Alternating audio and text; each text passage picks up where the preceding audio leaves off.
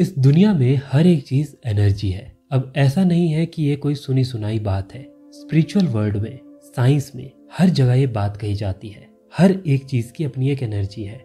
चाहे वो कोई भी चीज़ हो, जिसको आप आँखों से देख भी नहीं सकते, उस चीज़ की भी एक एनर्जी है, जो आपके थॉट्स है, उनकी भी एक एनर्जी है। और उन थॉट्स का आप अपनी ज़िंदगी को बदलने के लिए इस्तेमाल कर सकते हो। उनकी मदद से आप कुछ भी मैनिफेस्ट कर सकते हो। आपका दिमाग आपकी दुनिया बना रहा है और ये सब कुछ आपके ही हाथ में है।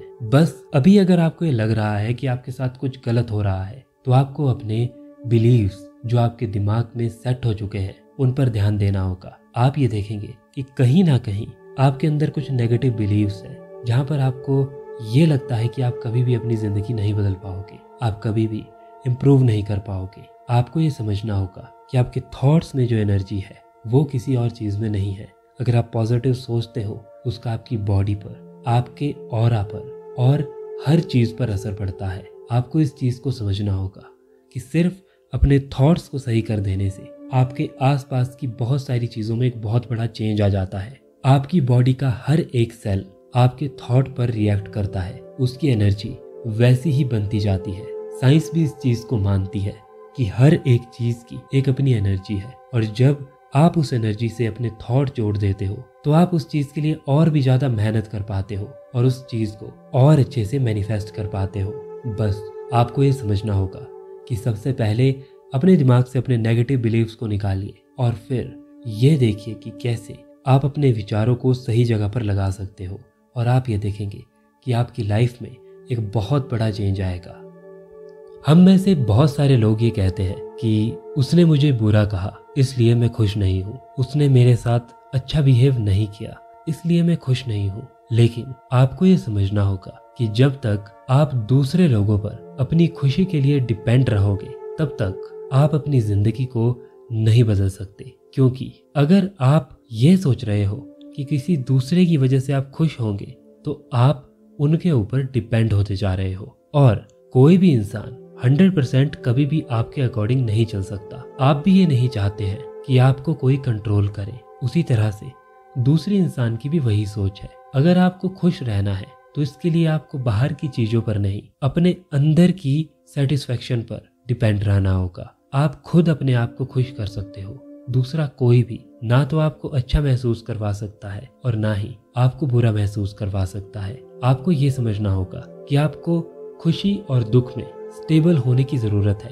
अगर आप किसी के बहुत अच्छा अच्छा बात करने पर अभी बहुत ज़्यादा खुश हो रहे हो तो ये भी बहुत ज़्यादा चांसेस है कि अगर वो कुछ गलत करेगा तो आप बहुत ज़्यादा दुखी हो जाओगे। लेकिन अगर आप स्टेबल रहे, खुशी में भी और दुख में भी तो आप इंटरनल हैप्पीनेस को महसूस कर पाओगे। इसलिए किसी भी इंसान पर, किसी भी चीज़ पर, अपनी किसी भी इच्छा पर, खुशी को डिपेंड करके मत रखिए। आपको अपने खुद के साथ खुश रहना आना चाहिए। बहुत बार जब आप कुछ करने की कोशिश करते हो, लोग आपका मज़ाक उड़ाते हैं। अब आपके पास दो ऑप्शन है। या तो आप उनकी बात लेकर बैठ जाओ और ये सोचो कि ये लोग मुझे सपोर्ट क्यों नहीं कर रहे हैं? ये लोग मेरा साथ क्यों नहीं दे रहे हैं? ये मेरे खिलाफ क्यों बोल रहे हैं? या फिर आप अपना टाइम और एनर्जी इसमें वेस्ट कर सकते हो। या फिर आप ये सोच सकते हो ये लोग कुछ भी बोले, लेकिन मैं अपने आप को प्रूव करके दिखाऊँगा और मैं अपनी ज़िम्मेदारी खुद लेता हूँ। जिस दिन आपने ये समझ लिया कि आपको खुश करने की, आपको सफल बनाने की, आपको आगे बढ़ाने की ज़िम्मेदारी सबसे पहले आपकी खुद की है, उस दिन आप अनस्टॉपेबल बन जाओगे। अगर आप एक साइंस के स्टूडेंट हो तो आपको ये पता होगा कि अगर आप किसी एक चीज़ को अलग अलग एनवायरमेंट में रखो, मान लीजिए किसी एक फ्रूट को आप ठंडी जगह पर रखो, गर्म जगह पर रखो, उसका एनवायरमेंट चेंज करते रहो तो फ्रूट्स अलग अलग तरीके से बिहेव करेंगे। मतलब जो गर्म जगह पर है, वो थोड़ा जल्दी खराब हो जाएगा। जिसको आप कोल्ड स्टोरेज में रखो, वो थोड़ा लेट खराब होगा।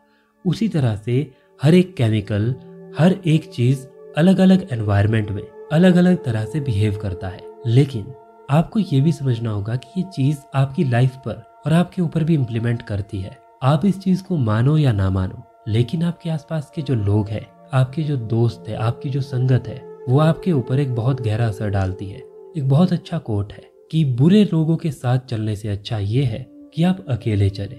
इसका कारण ये है कि मान लीजिए आपने कुछ बुरा नहीं भी किया, आपके साथ वाले लोग कुछ बुरा कर रहे हैं, लेकिन आप उनके साथ हो और इसमें आपका भी नाम आएगा। इसलिए ज़रूरी है कि आप अकेले चलो। आपकी संगति आपके फ्यूचर पर और आपके गोल पर एक बहुत बड़ा असर डालती है। अगर आप ऐसे लोगों के बीच हो जो हमेशा प्रोडक्टिव रहते हो तो आप खुद ना चाहते हुए भी प्रोडक्टिव बनते जाओगे, क्योंकि आप उनसे सीखोगे, उनको देखोगे, और फिर आपको भी लगेगा कि ये सब कुछ कर रहे हैं, मुझे भी करना चाहिए। आपकी सोच उनकी तरह बनती जाएगी। अब बहुत सारे लोग ये कहते हैं कि मैं अपने घर का माहौल चेंज नहीं कर सकता। मेरे घर में ही अच्छा माहौल नहीं है। चलिए ठीक है, आपके घर में अच्छा माहौल नहीं है, लेकिन आप अपनी किसी चीज़ को तो चेंज कर सकते हो। घर में जो हो रहा है, उसको छोड़ दीजिए। बाहर अपनी संगति अच्छी रखिए। घर में ये कोशिश कीजिए कि आप अकेले रहकर ज़्यादा मेहनत करें। हो सकता है नेगेटिव एनवायरनमेंट रहे, लेकिन आप जितने ज़्यादा पॉजिटिव लोगों के बीच बाहर रहोगे नेगेटिव चीज़ें आपके ऊपर उतना कम असर करती रहेगी। चाहे फिर वो आपके घर में ही क्यों ना हो। आपको ये समझना होगा कि पॉजिटिव एनवायरनमेंट का मतलब सिर्फ़ ये नहीं है कि आप अच्छे लोगों के बीच बैठे हो। पॉजिटिव एनवायरनमेंट का मतलब ये है कि आप चाहे अपने घर में भी हो, लेकिन फिर भी आपकी सोच उन लोगों से मिल रही है जो अच्छे हैं। पॉजिटिव एनवायरनमेंट का मतलब ये है, भले ही आपके घर में नेगेटिव माहौल हो, लेकिन आप अपने रूम में एक ऐसा माहौल बनाकर रखते हो, जहाँ पर जब आप एंटर करते हो तो आपका मेहनत करने का मन करता है। अपने रूम को अच्छा रखिए, एकदम वेल ऑर्गेनाइज रखिए। आप ये नोटिस करोगे, जितना ज़्यादा आपका रूम ऑर्गेनाइज होता जाएगा, आप उतना ज़्यादा अच्छे से काम करने लगोगे। इसको साइंस भी मानती है। कि अगर आप चीज़ों को ऑर्गेनाइज करना सीख जाओ अपने रूम में तो आप अपने अंदर एक बहुत बड़ा चेंज ला सकते हो। आर्मी में सबसे पहले क्या सिखाया जाता है? डिसिप्लिन। इसीलिए आपको अपना एनवायरमेंट ऐसा बनाना होगा। आपको अपनी आदतें ऐसी बनानी होगी कि आप डिसिप्लिन रहो। और आप ये देखोगे कि कुछ ही महीनों में आपकी संगति की वजह से, आपके उस रूम की वजह से और आपके डिसिप्लिन की वजह से आपके अंदर एक बहुत बड़ा चेंज आएगा।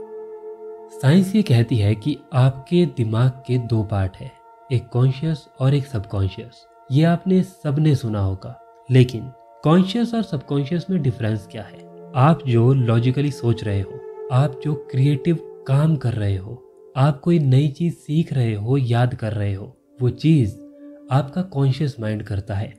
लेकिन सबकॉन्शियस माइंड आपकी हैबिट्स से, आपके नेगेटिव और पॉजिटिव बिलीव से भरा हुआ है। अब आपकी बहुत सारी आदतें ऐसी है, जिनको आप फॉलो नहीं करना चाहते, लेकिन फिर भी आप उनको कर लेते हो।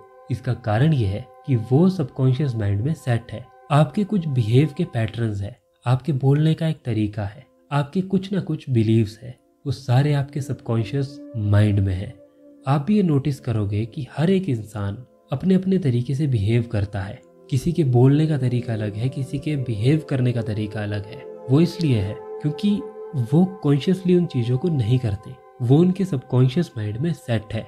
तो अब आपको ये समझना होगा कि अगर आपको अपनी क्रिएटिविटी को और अच्छे से बढ़ाना है, अपने कॉन्शियस माइंड की वर्किंग को और अच्छे से बढ़ाना है तो सबसे पहले जो सबकॉन्शियस माइंड में जो 95 परसेंट आपका ब्रेन का है, उसमें जो चल रहा है, उसको आपको चेंज करना होगा। और वो चेंज कैसे होगा? वो चेंज होगा जब आप प्रेजेंट मोमेंट में रहना सीखोगे। सबकॉन्शियस माइंड तब काम करना शुरू करता है जब आप अवेयर नहीं होते।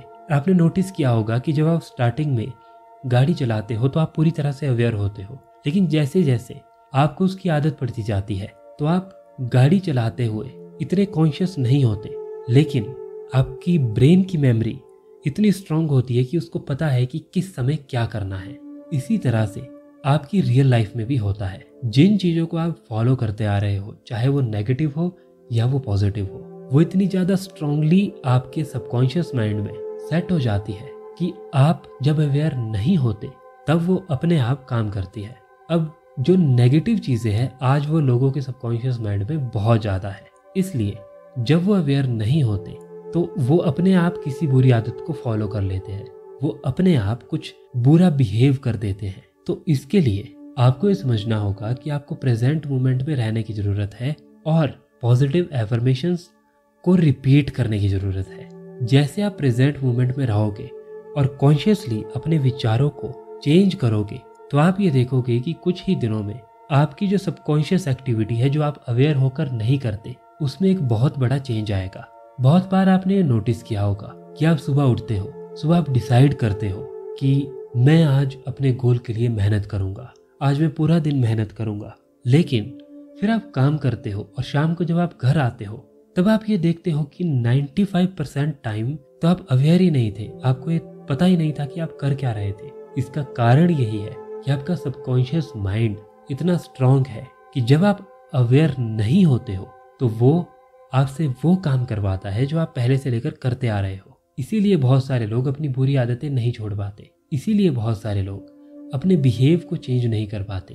तो अगर आपको ये करना है आपको ये समझना होगा कि आपको कुछ समय हर रोज अवेयर रहना है। आपको अवेयर होकर अपनी आदतों को चेंज करना है। मान लीजिए, आप वर्कआउट करना चाहते हो, लेकिन आपके सबकॉन्शियस माइंड में एक ऐसा बिलीफ है जो आपको नेगेटिव तरफ़ ले जा रहा है। तो कॉन्शियस होकर अपने आप से ये कहिए कि आज मैं सिर्फ़ 10 मिनट के लिए पुशअप्स करूँगा या कोई भी वर्कआउट करूँगा। सिर्फ़ 10 मिनट के लिए। उस चीज़ को इतना आसान बना दीजिए कि आपके दिमाग को लगे कि ये चीज़ तो आसान है। धीरे धीरे उसको 10 से 15, 15 से 20 इस तरह से अपने आप को प्रेजेंट मोमेंट में रखने की कोशिश कीजिए। मतलब गोल बड़ा रखिए लेकिन उसको छोटे छोटे पार्ट में डिवाइड कर दीजिए। क्योंकि अगर आप गोल बड़ा रखोगे और उस पर ही मेहनत करते रहोगे तो आप ये देखोगे कि बहुत बार आप अवेयर नहीं रह पाते। इसलिए जैसे आप उसको छोटे छोटे पार्ट में डिवाइड कर दोगे छोटी छोटी टाइमिंग्स में तो आप ये नोटिस करोगे कि 10 मिनट के लिए ही सही। लेकिन आप अवेयर थे। उसी तरह से पढ़ाई में भी कीजिए। आपने बहुत सालों से अच्छे से पढ़ाई नहीं की है और अब आप सोच रहे हो कि आप पढ़ोगे। तो ये एकदम से नहीं होने वाला। क्योंकि आपके सबकॉन्शियस माइंड में वो आदत नहीं है। इसीलिए आपको ये डिसाइड करना है कि आज मैं बस 20 मिनट बिल्कुल अवेयर होकर पढ़ूँगा। 20 मिनट से ज़्यादा नहीं पढ़ूँगा। उसका कारण ये है कि मान लो आपने डिसाइड किया आप एक घंटा पढ़ोगे और आप वो नहीं कर पाए तो आपके दिमाग में एक गिल्ट होगी उसको ना करने के बाद। इसीलिए एक छोटा गोल डिसाइड करो, उसको पूरा करो, जिससे आपके दिमाग में एक ऐसी फीलिंग हो कि हाँ जो आप डिसाइड कर रहे हो, उसको आप पूरा करोगे। 10 मिनट से 20 मिनट पर जाओ 20 मिनट से 30 मिनट पर जाओ। धीरे धीरे आप ये नोटिस करोगे कि आप एक एक घंटे तक भी अवेयर होकर पढ़ाई, वर्कआउट और कोई भी काम कर पा रहे हो। इसलिए सबकॉन्शियस माइंड के बिलीव्स, हैबिट्स, बिहेव को चेंज करने के लिए प्रेजेंट मोमेंट में अवेयर रहना शुरू करो और अवेयर रहने के लिए अपने हर बड़े गोल को छोटे पार्ट में डिवाइड कर दो।